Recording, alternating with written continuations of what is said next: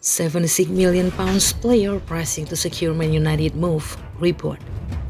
Manchester United suffered yet another defeat in the Premier League and this time their brilliant runaway from home was ended by Leicester City.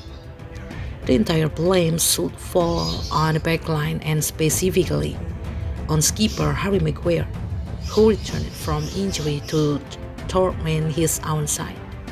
As per recent reports going on in the media, the Red Devils are interested in improving their central defense even after luring Varane in the summer transfer window. According to El Nacional, Man United have decided to press hard to sign Jules Kounde from Sevilla as they want him to partner Varane in the central defense at Old Trafford. The Spanish news outlet have mentioned that the French international, recently won the UEFA Nation League trophy under Deschamps, is not sure about signing for Real Madrid, who prefer the likes of Alaba and Militao in the central defense. Therefore, he is pressing to secure a move to Man United and has instructed his agent to negotiate a deal.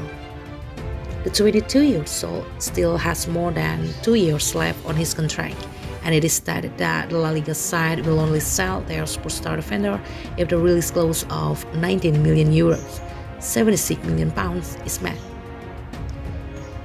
In the current campaign so far, the youngster has started six league games for Sevilla and helped the team keep four clean sheets.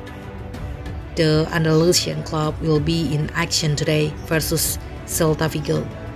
Ole has four senior central defenders at his disposal, but with Varane out injured at the moment, we are vulnerable at the back because others are highly inconsistent. In your view, should Man United over 76 million pounds to sign Jules Koundé?